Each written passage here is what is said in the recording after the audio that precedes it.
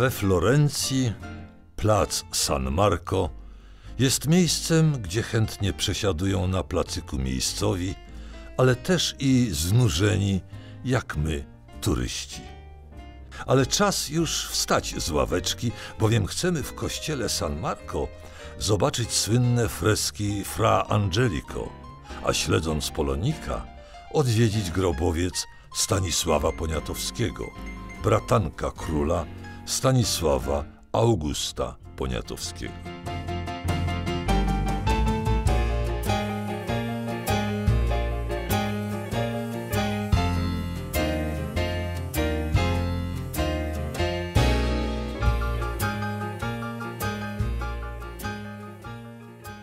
Mimo, że bratanek poparł konstytucję 3 maja, to został członkiem Konfederacji Targowickiej, zatem stał się niechlubnie symbolem zdrady narodowej. Niesamowicie bogaty, wyprzedał polskie majątki i przeniósł się do Włoch. Zgromadził dużą kolekcję obiektów sztuki, którą również odsprzedał i zamieszkał w Rzymie, a później w Toskanii.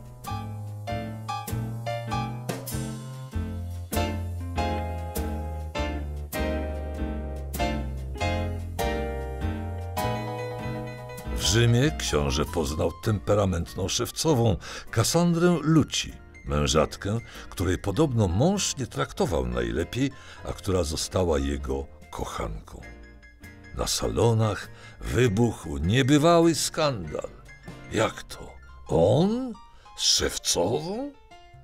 I tym uczynkiem naraził się wielce arystokracji, bowiem zniżył się do poziomu plebsu i obniżył swój status arystokraty. A na domiar wszystkiego nawet się z nią ożenił. Tak więc mezalians nie lada. Z tego szczęśliwego, jak piszą, związku miał pięcioro dzieci.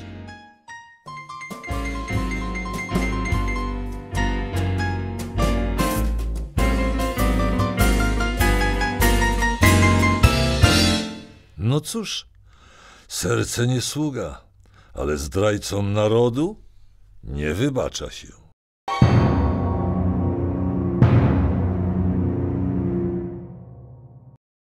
Po tym przykrym wspomnieniu Targowicy szykujemy się teraz na estetyczną i duchową ucztę, by zobaczyć freski mnicha, malarza wczesnego renesansu, Fra Angelico, czyli Guido di Pietro, a znanego przez współczesnych jako Fra Giovanni da Fiesole. Ten niezwykły dominikanin miał rzadki i doskonały talent malarski. Napisał Giorgio Vasari, nadworny artysta Medyceuszy i autor wybitnego dzieła Żywoty najsławniejszych malarzy, rzeźbiarzy i architektów.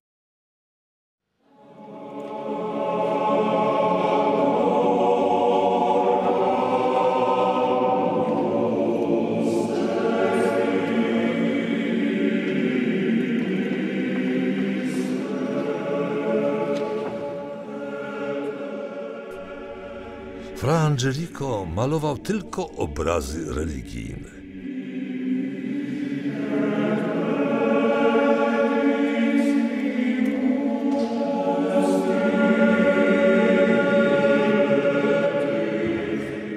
Jako malarz ciągle się rozwijał.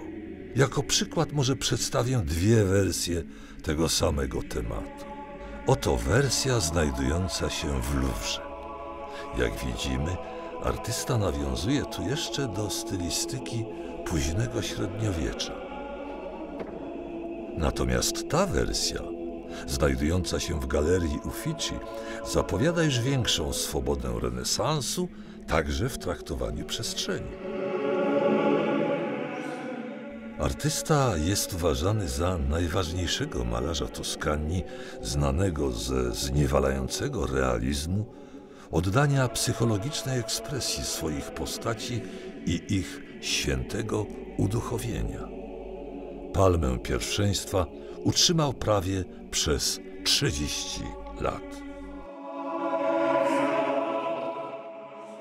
Jego chorały w kościele San Marco, ozdobione miniaturami, są tak piękne, że trudno to opowiedzieć.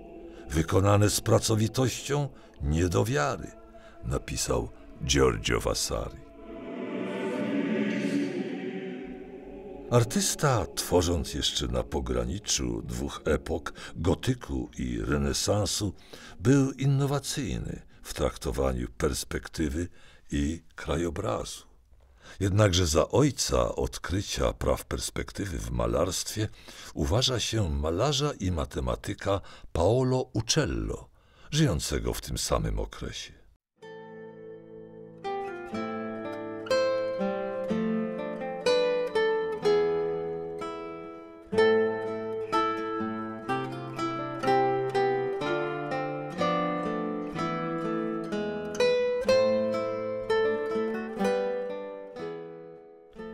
Uccello obsesyjnie szukał, by w obrazie oddać głębokość obiektów i w ten sposób pokazać je tak, jak widzi je oko.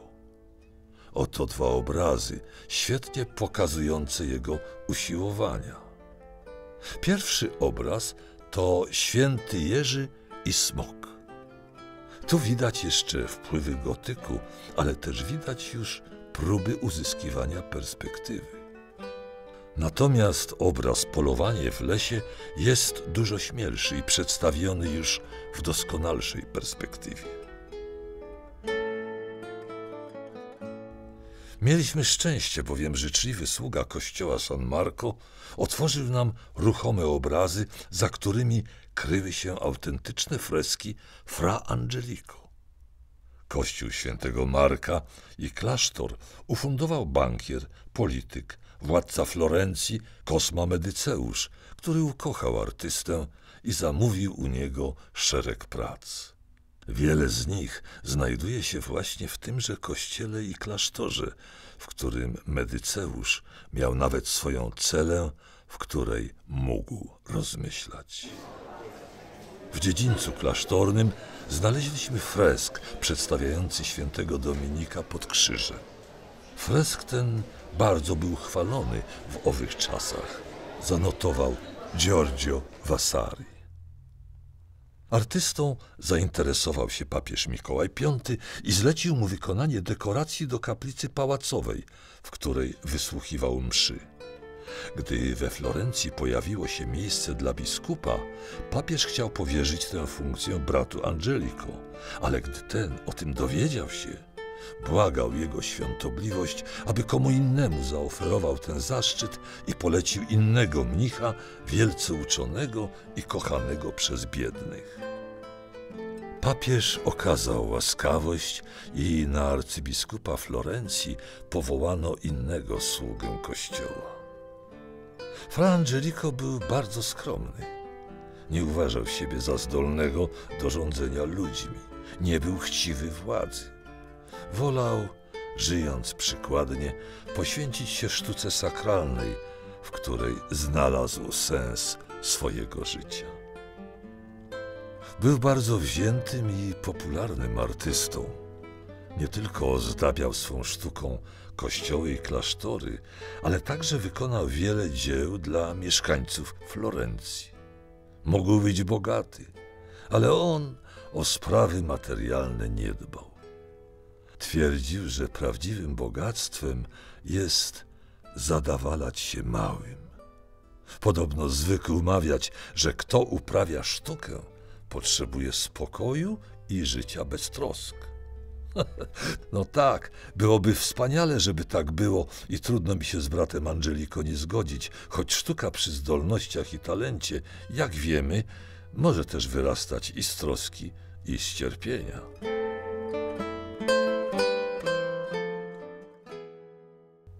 Vasari wspomina brata Angelico jako człowieka niezwykle nabożnego, niepospolitego, przez wszystkich lubianego i szanowanego. I pisał o nim. Zechciałby Bóg, aby wszyscy duchowni działali tak, jak ten zakonnik naprawdę anielski, który spędzał czas na służbie Bogu, światu i najbliższym. Nie zdarzyło się, aby kiedykolwiek wystąpiła większa i cnotliwsza natura niż fra Angelico. Dlatego ci, którzy kierują się sprawami bożymi i kościelnymi, winni być ludźmi nabożnymi i świątobliwymi. Kiedy jednak sprawami duchowymi kierują się ludzie małej wiary, bez uczuć gorących, dają się oni opanować uczuciom nieszlachetnym i rozwiązłym tam, gdzie wystąpić powinna była nagana.